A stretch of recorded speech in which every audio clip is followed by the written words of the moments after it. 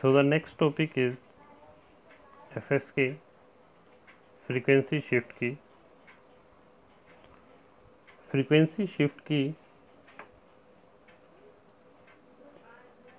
in this the frequency of carrier will be shifted according to the message signal. If we look at the output of FSK, it is the combination of two frequencies F1 and F2. So, in BFS BFSK binary phase frequency shift key, two carrier frequencies are there F1 and F2. F1 is selected if data element is 0, F1, F2 is selected data element is 1.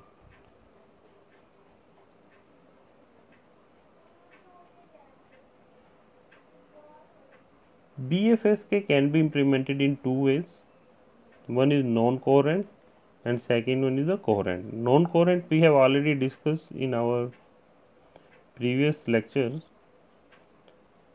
that we are going to use two ASK modulation and then we will combine them and we will get the FSK signal and the second one is the coherent in coherent we are going to use a voltage controlled oscillator that is VCO voltage controlled oscillator. The binary message will control the voltage of oscillator. If it is 0, it will give its regular or natural frequency that is F1. If it is 1, the voltage will increase that will increase the frequency of the oscillator. And a new frequency that is f2 we will get at the output.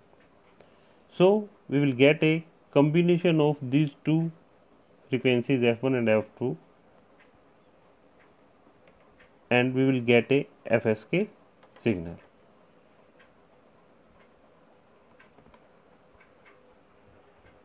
This is the formula for calculation of bandwidth of FSK 1 plus में D into में S plus में 2 of delta F. This one is the extra factor 2 also of delta F where delta F is the difference between F1 and F2. In this we will use a unipolar non-return to zero signal this is a unipolar non-return to zero message which have only one polarity. These are the non-coherent method which have, we have already discussed. FSK will be generated with the help of ASK1 modulator, ASK2 modulator and by the combination of both of these outputs. This one, this one. These are the FSK coherent method. This is phase shift key. In phase shift key, the phase of carrier is varied. In BPSK binary phase shift key, we are going to have two levels as it is binary. One with phase 0 degree and the other with phase 180 degree one with 1 and other with 0 and the second one is we are going to be use a polar non-return to 0 signal. This one is a polar non-return to 0 because it will not return at 0 it is a polar non-return to 0 signal. It has polarity in both directions.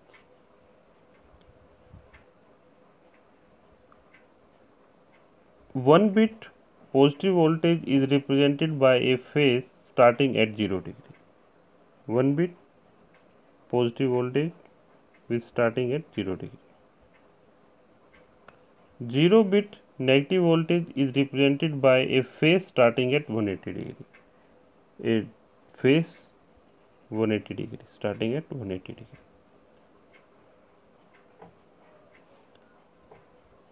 signal element with phase 180 degree can be seen as the complement of signal element with phase 0.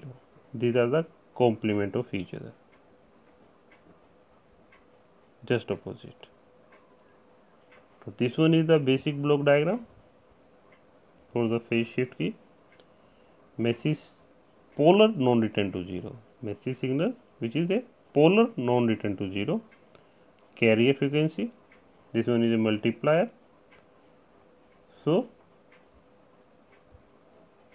we will get a PP SK signal at the output.